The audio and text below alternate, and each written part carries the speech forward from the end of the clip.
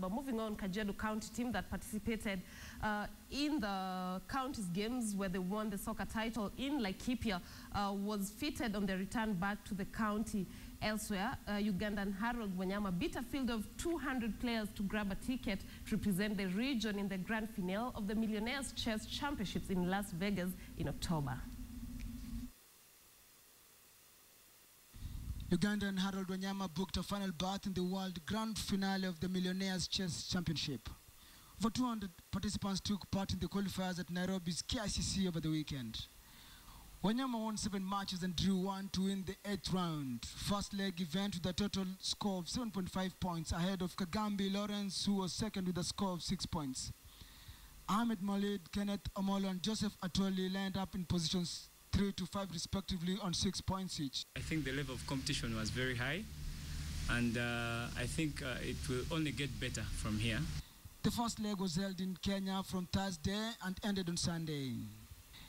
The other two events will be held in Nigeria in June and South Africa in July, respectively. With the winners of the other two events also heading to the USA for the grand finale, where the winner will also pocket $1 million prize money. The minute we agreed to move on, the correspondence was always there. We were kept posted what's going on, and everything's it's going the way it was promised, and we're very happy.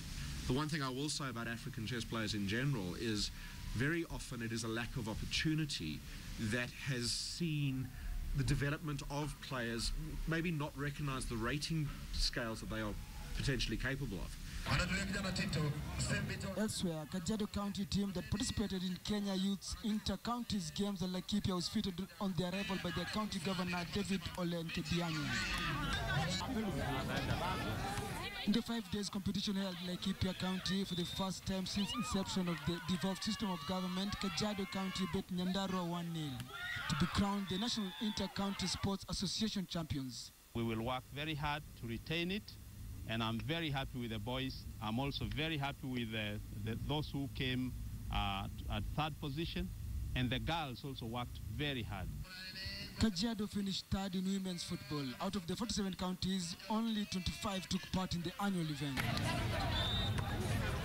Hassan Juma. KTN Sports.